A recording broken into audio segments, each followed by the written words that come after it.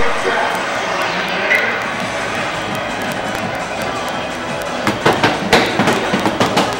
the video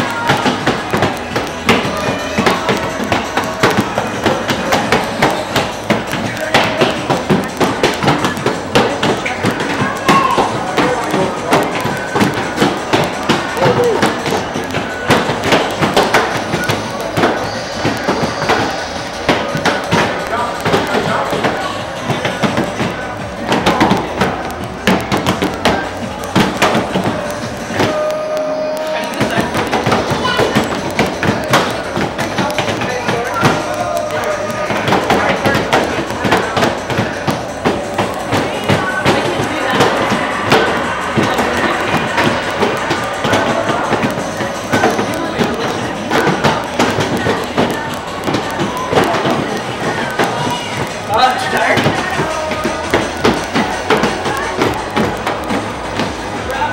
tired to come.